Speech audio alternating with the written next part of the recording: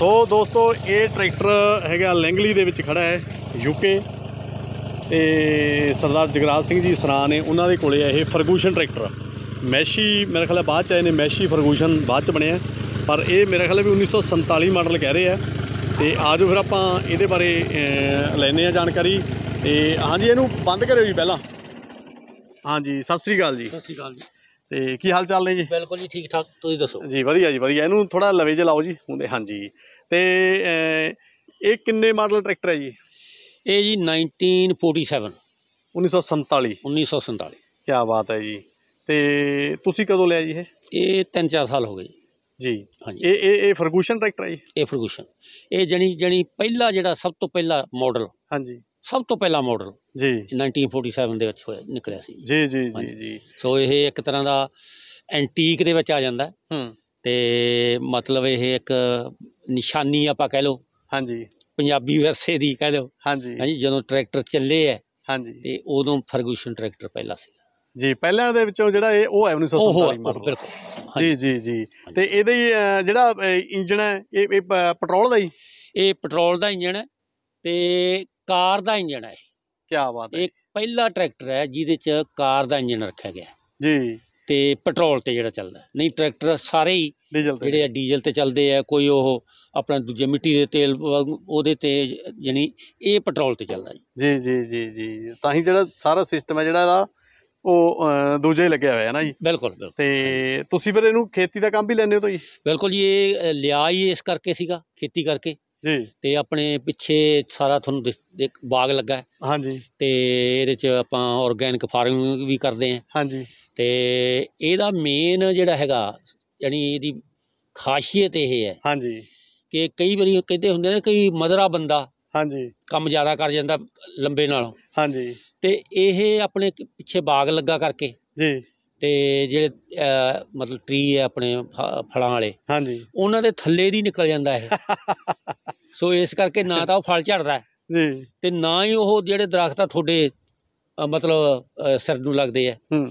ਸੋ ਇਹਦਾ ਇਹ ਜਾਣੀ ਇਹ ਮੇਰੇ ਖਿਆਲ ਚ ਇੰਡੀਆ ਦੇ ਵਿੱਚ ਵੀ ਆਪਣੇ ਪੰਜਾਬ ਦੇ ਵਿੱਚ ਵੀ ਹੂੰ।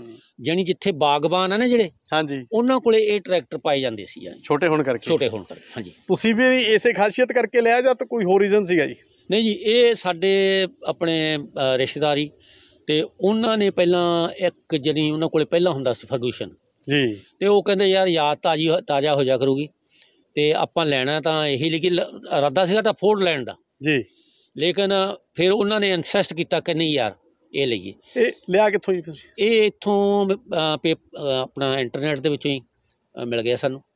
ਅੱਛਾ ਤੇ ਗੋਰੇ ਦਾ ਸੀਗਾ ਰੱਖਿਆ ਹੋਇਆ ਇਹ। ਅੱਛਾ ਜੀ। ਤੇ ਗੋਰਿਆਂ ਕੋਲੇ ਬਹੁਤ ਹੈਗੇ ਪੁਰਾਣੇ ਟਰੈਕਟਰ ਹੂੰ। ਤੇ ਲੇਕਿਨ ਇਹ ਜਾਣੀ ਹੁਣ ਜੇ ਆਪਾਂ ਕਿਤੇ ਇੱਕ ਦੋ ਵਾਰੀ ਅਸੀਂ ਬਾਹਰ ਲਗਾਏ ਆ ਤੇ ਉੱਥੇ ਜਾਣੀ ਕਿ ਲੋਕ ਦੂਜੇ ਟਰੈਕਟਰਾਂ ਨੂੰ ਘੱਟ ਦੇਖਦੇ ਇਹਨੂੰ ਜ਼ਿਆਦਾ ਦੇਖਦੇ। ਇਹਨੂੰ ਜ਼ਿਆਦਾ ਦੇਖਦੇ ਆ। ਕਈ ਇੱਕ- ਇੱਕ ਦੋ ਥਾਵਾਂ ਤੇ ਦੇਖਿਆ ਟਰੈਕਟਰ ਜਰੇ ਵੀ ਖੜੇ ਆ ਜੀ। ਹਾਂਜੀ ਹਾਂਜੀ ਖੜੇ ਆ, ਹਾਂਜੀ। ਖੜੇ ਆ। ਤੇ ਇਹ ਇਹਦੇ ਫਿਰ ਜਿਵੇਂ ਰਿਪੇਅਰ ਦੀ ਗੱਲ ਕਰ ਲਈਏ ਫਿਰ ਉਹ ਹੋ ਜਾਂਦਾ ਜੀ ਸਾਰਾ ਸਮਾਨ ਵਗੈਰਾ ਮਿਲ ਜਾਂਦਾ ਜੀ? ਮਿਲ ਜਾਂਦਾ ਮਿਲ ਜਾਂਦੇ। ਕੋਈ ਪ੍ਰੋਬਲਮ ਮੇਰੇ ਖਿਆਲ ਅੱਜ ਕੱਲ ਵਰਲਡ ਆ ਜਿਹੜਾ ਇਹ ਗਲੋਬਲ ਹੋ ਗਿਆ। ਹਾਂਜੀ। ਕੋਈ ਮੈਂ ਕਹਿੰਦਾ ਵੀ ਕੋਈ ਵੀ ਟਰੈਕਟਰ ਹੋਵੇ ਹਾਂਜੀ। ਤੁਸੀਂ ਇੰਟਰਨੈਟ ਦੇ ਰਾਹੀਂ ਮਤਲਬ ਕੋਰੀਅਰ ਕਰਾ ਕੇ ਤੁਸੀਂ ਮੰਗਵਾ ਸਕਦੇ ਆ। ਤੇ ਹਾਂਜੀ। ਮਕੈਨਿਕ ਤਾਂ ਤੁਹਾਨੂੰ ਹਰੇਕ ਜਗ੍ਹਾ ਤੇ ਮਿਲ ਹੀ ਜਾਣਾ ਜੀ। ਬਿਲਕੁਲ ਜੀ ਬਿਲਕੁਲ। ਬਿਲਕੁਲ ਜੀ। ਤੇ ਬਾਹਰ ਤੇ ਫਿਰ ਇਹਨੂੰ ਕਦੇ ਕਦੇ ਕੱਢਦੇ ਜੀ ਨਹੀਂ ਜੀ ਜਦੋਂ ਕਿਤੇ ਦੇਖੋ ਹੁਣ ਇੱਥੇ ਜਿਹੜਾ ਜੰਤਰ ਮੰਤਰ ਹੈ ਨਾ ਜ਼ਮੀਨ ਚੋਂ ਬਾਹਲਾ ਹੁੰਦਾ। ਹਾਂਜੀ। ਤੇ ਇੱਕ ਤਾਂ ਸ਼ੌਕ ਪੂਰਾ ਹੋ ਜਾਂਦਾ ਜੀ। ਤੇ ਇੱਕ ਫਿਰ ਉਹ ਜਿੰਨਾ ਨਦੀਨ ਹੈ ਹਾਂਜੀ। ਉਹਨੂੰ ਵਾਹਿਆ ਜਾਂਦਾ ਤਾਂ ਕਿ। ਉਹ ਦੁਬਾਰਾ ਨਾ ਹੋਵੇ। ਜੀ ਤੇ ਜਿੰਨਾ ਜ਼ਮੀਨ ਵਾਹੀ ਵੀ ਚੰਗੀ ਸੋਹਣੀ ਲੱਗਦੀ ਹੈ। ਹਾਂਜੀ। ਤੇ ਹੁਣ ਅੱਗੇ ਤੋਂ ਸਾਡਾ ਖਿਆਲ ਹੈ ਵੀ ਜ਼ਿਆਦਾ ਦੂਜੀਆਂ ਹੋਰ ਫਸਲਾਂ ਵੀ ਬੀਜੀਏ ਜੀ ਤੇ ਤਾਂ ਕਿ ਜਣੀ ਇਹਦਾ ਫਾਇਦਾ ਉਠਾ ਸਕੀਏ। ਹੂੰ। ਕਿੰਨਾ ਕੁ ਪੈਟਰੋਲ ਖਾਂਦਾ ਜੀ? ਇਹ ਦੇਖੋ ਜੀ ਪੈਟਰੋਲ ਤਾਂ ਐਵੇਂ ਮਾਮੂਲੀ ਕੋਈ ਹੈ ਪਰ ਅਸੀਂ ਉਦਾਂ ਕਿਤੇ ਚੈੱਕ ਨਹੀਂ ਕੀਤਾ ਵੀ ਕਿੰਨੇ ਚਿਰ ਚ ਕਿੰਨਾ ਖਾਦਾ ਹੂੰ। ਤੇ ਪਰ ਹੈ ਪੈਟਰੋਲ ਤੇ। ਮੇਰੇ ਖਿਆਲ ਡੀਜ਼ਲ ਨਾਲੋਂ ਜਾਨੀ ਪੈਟਰੋਲ ਦਾ ਖਰਚਾ ਜਿਹੜਾ ਉਹ ਥੋੜਾ ਜਿਹਾ ਜ਼ਿਆਦਾ ਹੁੰਦਾ। ਲਿਆ ਕਿੰਨੇ ਦਾ ਸੀ ਤੁਸੀਂ? ਇਹ ਮੇਰੇ ਖਿਆਲ ਅਮ, ਚਾਰ ਕੁ ਹਜ਼ਾਰ ਦਾ ਸੀਗਾ ਜੀ। 4000 4000 ਪਾਉਂਡ ਦਾ। ਪਾਉਂਡ ਦਾ ਜੀ। ਹਾਂਜੀ ਹਾਂਜੀ। ਮਤਲਬ ਆਪਣੇ ਵਾਲਾ ਤਾਂ 4 ਲੱਖ ਤੋਂ ਟੱਪ 4 ਲੱਖ ਹੋ ਗਿਆ ਹਾਂਜੀ ਹਾਂਜੀ। ਜੀ ਕੀ ਬਾਤ ਹੈ ਜੀ। ਮਤਲਬ 1947 ਮਾਡਲ ਟਰੈਕਟਰ 4 ਲੱਖ ਰੁਪਏ ਦਾ ਜੀ। 4 ਲੱਖ ਦਾ ਪਿਆ ਪਰ ਜਿਹੜੇ ਪਿੱਛੇ ਹਾਲ ਹੈ ਹਾਂਜੀ। ਉਹ ਫਿਰ ਅਸੀਂ ਸੈਪਰੇਟ ਲਏ। ਜੀ। ਤੇ ਹੁਣ ਸਾਡਾ ਇਰਾਦਾ ਕਿ ਤਵੀਆਂ ਲੱਗੀਆਂ ਜਾਣ। ਜੀ ਜੀ। ਕਿਉਂਕਿ ਜਦੋਂ ਕਈ ਵਾਰੀ ਨਾ ਆਪਾਂ ਵਾਹੁੰਦੇ ਆ ਤੇ ਫਿਰ ਉਹ ਰੜ- ਹੂੰ। ਜਾਂਦੇ ਆ। ਹਾਂਜੀ ਤੇ ਤਵੀਆਂ ਇੱਕ ਤਾਂ ਜਿੰਨਾ ਵੀ ਨਦੀਨ ਹੈ ਉਹਨੂੰ ਕੱਟ ਕੱਟ ਦਿੰਦੀਆਂ। ਹਾਂਜੀ ਤੇ ਇੱਕ ਰੋੜੇ ਆ ਜਿਹੜੇ ਉਹ ਨਹੀਂ ਹੁੰਦੇ ਫਿਰ ਉਹ ਐ ਪ੍ਰੋਪਰ ਜਾਨੀ ਬਣ ਜਾਂਦੀ ਹੈ ਜੀ ਜੀ ਜੀ ਜੀ। ਸੋ ਧੰਨਵਾਦ ਜੀ ਤੁਹਾਡਾ। ਧੰਨਵਾਦ।